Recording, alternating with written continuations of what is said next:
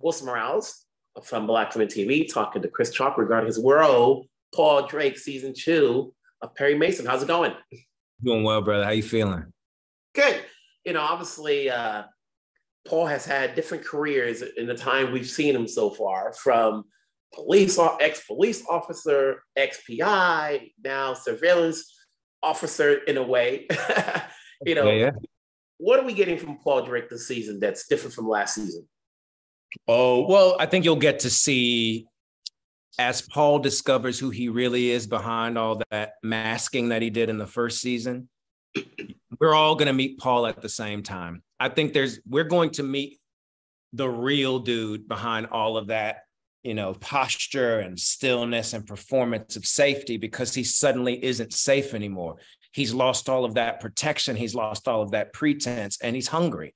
And what is it like when where do where do the performances go when a person is starving and he's starving for peace he's starving for better food he's starving for balance he's starving for sex with his wife you know in that tiny space squeezed in that house with those loud kids and that annoying brother-in-law whom he loves, but you know, he's really hungry right now. So we get to watch Paul fall apart and reconstruct himself.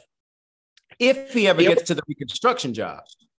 Yeah, so he always seems conflicted, like he's never happy, you know, and, and that's how they set him up to be. Which, which is for you as an actor, you've got to have all of these uh, facial expressions like what did i do am i doing the right thing you know as opposed to like listen i got to do what i got to do to feed my kids you know and, and, not have a conscience but he does have a conscience you know which yeah. we'll see i think throughout the season right yeah we'll see that I mean, it's like a little kid. He's touching a lot of fire and he's finding out what burns too much and what doesn't melt his skin, you know. And I think he sits really close to a lot of fires he thought he'd never sit close to in his lifetime. You know, he's he's a bit of a pretentious guy in the first season because he was a safe guy. He was a safe Negro. And now that he's not as safe, but still dealing with the same incredibly powerful white people, you'll find this season, it's like, you know, forget local police, let's go big, you know. So we we get to see what happens as Paul drowns a little bit more.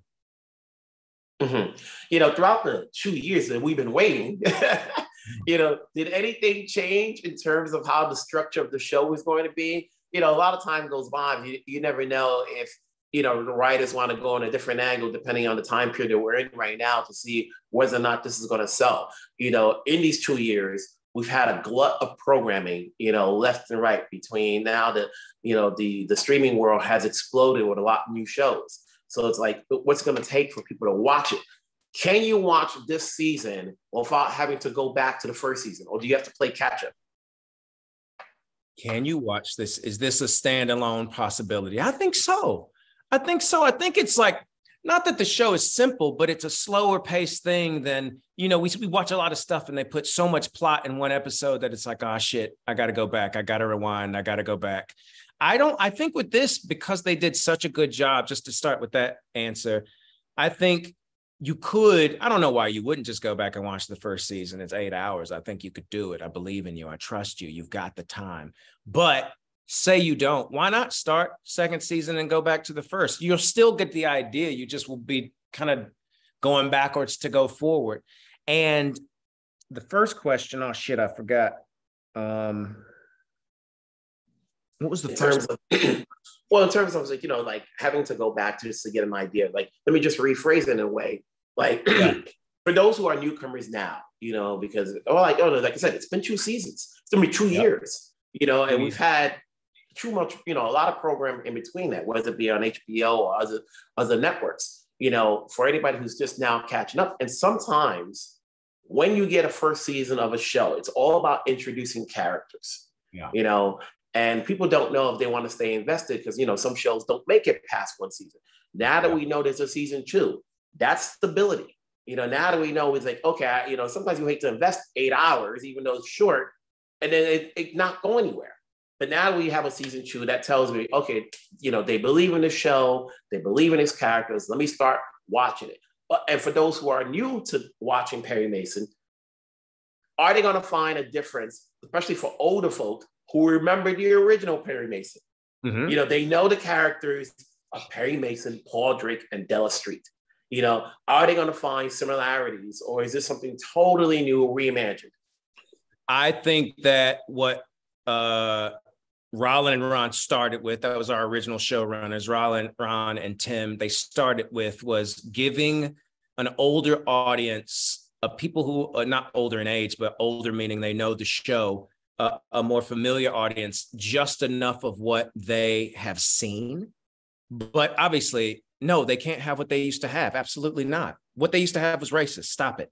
Like what they used to have was like white men talking, and sometimes the woman would talk. No, that was inappropriate to begin with. So, one, come along with 2020 and wake up and realize there were huge populations of people of color, Black people, Brown people, Asian people. Everybody was here, and those shows just weren't showing it at the time.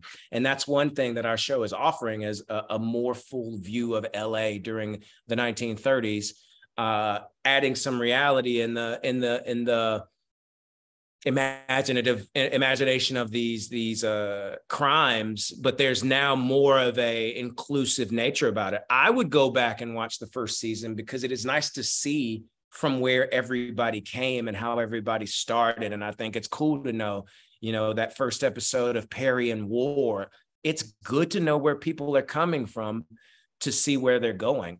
Watch it in whatever order you want but I think it gives a more interesting, a little bit darker, a, a lot less episodic and procedural, and a lot more character driven TV. So yeah, I'd I'd go back to the first season, and I would, you know, if I'm not racist, I'd be cool with adding uh this um, this immense amount of diversity, immense, mm-hmm. good amount of diversity.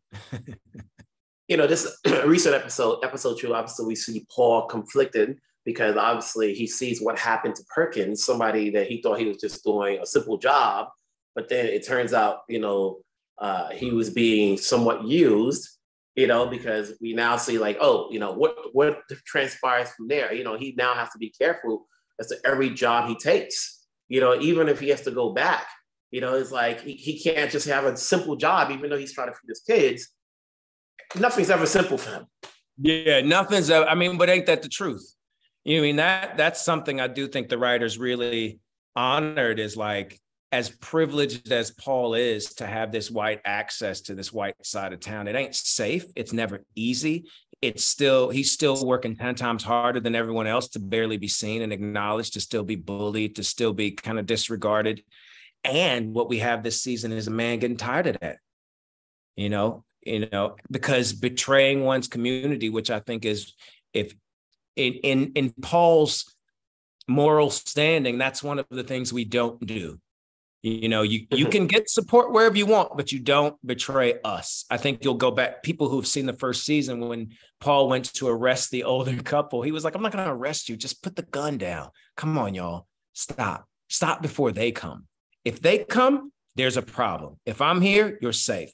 And that's how I I Paul treated our community is I'm here to protect us from them because I'm wearing the same costume, but I only have so much power. Now that none of that's there, man, whoop, Paul's gonna get his ass kicked.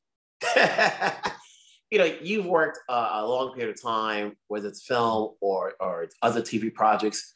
For you as an actor, you know, when you do this show, different directors, different writers, what would you say has evolved from your skill set as an actor? Mm, ease. I think what I'll tell you exactly. First season. Oh, I'm going to tell you this. Yeah, why not? Uh, when I saw the first season, I was okay with what I, Chris Chalk, did. But if we're talking about purely skill set, I could have worked up better on breath, which might which might not make sense. But I think there were times when I was holding my breath because Paul was scared, where I wish he'd have breathed because there's more life in that. It's a little nerdy. This answer is very, very nerdy but mm-hmm. there's a certain amount of ease that I think, especially after episode two, that we consciously was trying we're trying to bring to Paul so that in his fall apart, there's no control. There is there's ease, but it's more of a like a little baby going, oh God, I gotta just get out of here, fight, fight, fight. Whereas before, it's almost like he was always in a stance ready to fight. Here, he just doesn't know where the attack is coming from. So there's something about his head on a swivel more so and a little less stiff and a little more freedom. And it's taught me, Chris Chalk, something. but it also just kind of opens Paul up to a better exploration. And therefore, every character after Paul will have kind of more relaxed presence, even in their fiery, tense moments. I definitely watched that first season and went, ah, got things to fix, got stuff to work on. well, we've got more episodes to go. Obviously, I like the fact that it's weekly. That way we can anticipate and look forward to see what's going to happen with this character. Show. So congrats again. You know, I'll keep it going. You know, I've always followed you and supported you. So it's always good to talk to you. Good to talk to you, Wilson. I look forward to the next one. All right. Take care.